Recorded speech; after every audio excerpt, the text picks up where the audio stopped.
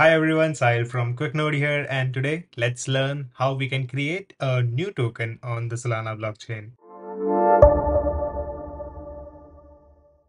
So to mint the token, we will follow three steps. In the first step, we will create a wallet.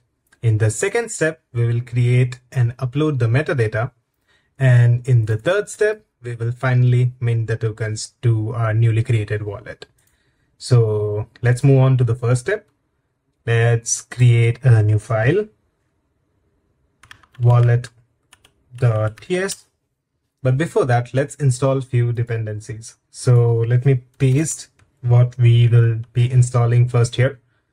So the first library which we will be installing is Solana Web3.js, which we will use to create our wallet as well as to get some tokens airdrop to our wallet. The second library which we will be using is Metaplex's new Umi library, which helps us interact and deploy programs on Solana. And the third library which we will be using is again Metaplex's MPL token metadata library, which helps us manage the metadata of tokens.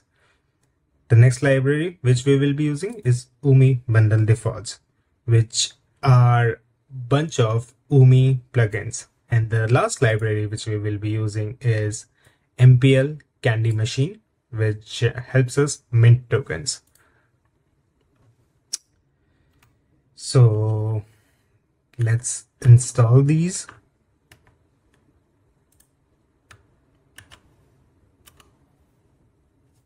all right so now they are installed and now let's look at our wallet.ts code which looks like this so over here we are importing the solana library and then we are importing fs so that we can work with file system because what we will be doing is we will create a wallet and then store the key pair, the public key and the secret key in a JSON file so that we can access it in our mint.ts file as well, which we will be using to mint our tokens. And over here, we will need to add a RPC URL. So let's go to QuickNode, get a Solana DevNet URL because we will be minting our tokens on DevNet. And then we are establishing the connection. Then we are generating a new key pair. And then we are printing the new key pair in the console. And then we are converting the secret key to a string and splitting it with commas and then converting it to numbers and then putting it in an array. Then we are JSON.stringifying the array, which means that we are converting into a JSON string. And then we are writing it to a file called guidesecret.json. And after that, what we are doing is we are airdropping some sol, which will be used to pay the gas fee to our newly created wallet. But before creating wallet, let's quickly install another library for base 58 so what this library will do is it will convert our uint8 array of the secret key into base 58 private key or public key. So what we want to do is we want to paste the private key onto console as well so that we can import it in Phantom and see our newly created tokens. But uh, in practice, you should never print your private key or you should never share your private key. So let's create another variable for private key. Let's encode it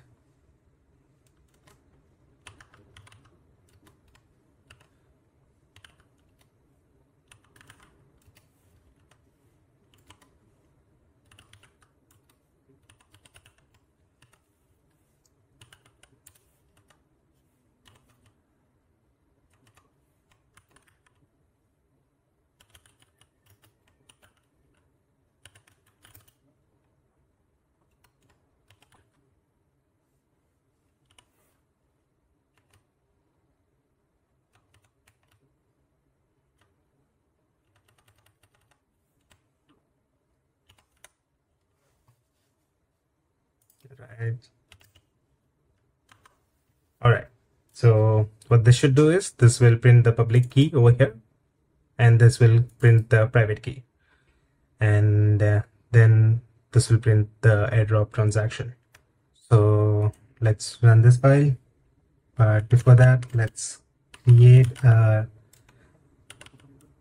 typescript config file because uh, Uh, we will have to work with the json file in the mint token file. So we will just have to do this. We will have to make resolve json module as true so that we can import json files and work with them. And now we are all good to create our wallet. But before let's quickly rename this to the correct spelling of wallet. All right. This should be good okay let's run the file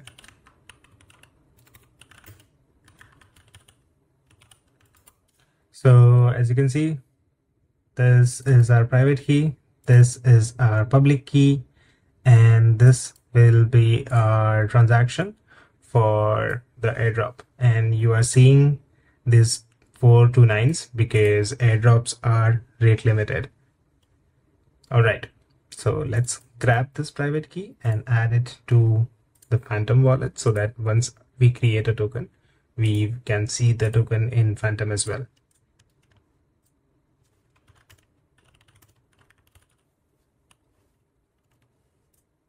all right so the wallet is imported and you can see it has one sol so let's go back. So our first step here is completed now let's go on to the second step so let's create a new metadata file let's name it token.json and the metadata will look something like this So let's give our token a name. Let's name it cat with hat. and uh, the symbol could be CWH. And now we will need a description. So uh, new token to show how to mint tokens on Solana and over here we will need a image URL which will be our icon for the token so let's quickly grab a file. This will be our icon for the token. Let's upload that. So we are uploading it to QuickNodes IPFS because uh, we want to keep it decentralized. We want to store it on a decentralized storage. So that's why we are uploading it on IPFS using QuickNode. and uh, let's get the IPFS URL to check if the file is uploaded or not. Yes the file is uploaded. So let's go back to our metadata file and replace this with the actual URL using which we can access the image. And now what we have to do is we have to upload this token.json file to IPFS. So let's open the directory in Finder or any file viewer. Let's go back to QuickNode dashboard. And this is our token.json. Let's upload it. Okay, so it's uploaded to double check copy the IPFS URL view it over here all right yes it's uploaded so let's go back create a new file called mint.ts which we will use to mint our tokens and over here let me paste the code and then we can go through it line by line so over here, we are importing a bunch of stuff, which we will be using in the code. And over here, we are importing the guide secret.json file, which holds the secret key.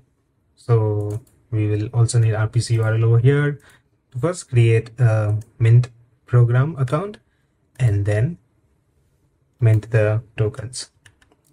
So there's the RPC URL. Over here, we are creating or initializing the wallet using the secret stored in guide secret file. And over here, we are assigning it as the signer for the transactions. And then we will store the metadata in the metadata variable where the name will be the name of our token, which is cat with hat. So cat with hat then CWH, CWH, then the URI will be the metadata file URI, which is this URI.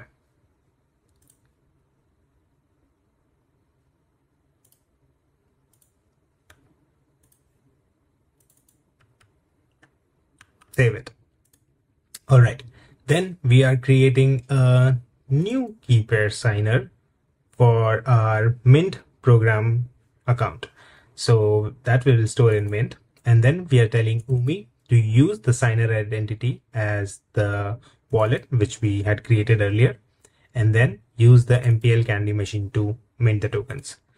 And this is the function which we will be using to first create a mint account for our token and then also mint our tokens to our wallet address. So that's what we are doing over here. Mint is the mint account or mint program account for our token. Authority is our wallet address, which we created earlier. Name will come from the metadata variable over here. Symbol will also come from the metadata variable. URI, same. And then we are saying seller fee basis points is zero. Decimals will be eight. How much tokens we want to mint? So over here we are minting 1 million tokens. Because the decimals are 8 we will need the extra zeros. And then the token owner will be our wallet which we created earlier. Token standard is fungible because we are creating a token not an nft and then we are sending the transaction and logging down the success message in the console. Now let's mint our token. Yes node mint.ts So now our token should be minted. So let's go back to Phantom, copy the address. And as you can see, the token is already there. As you can see, there are 1 million tokens.